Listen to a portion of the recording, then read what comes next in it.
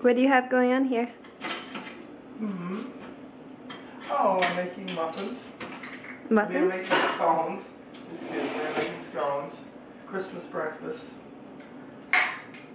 But we're having our Boxing Day. It's our Boxing Day breakfast. What kind of scones are these? Those are blueberry scones, and in the oven we have vegan lemon poppy seed scones.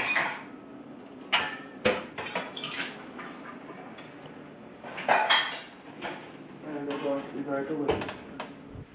You, you can guarantee that? I can't guarantee that. I can only hope.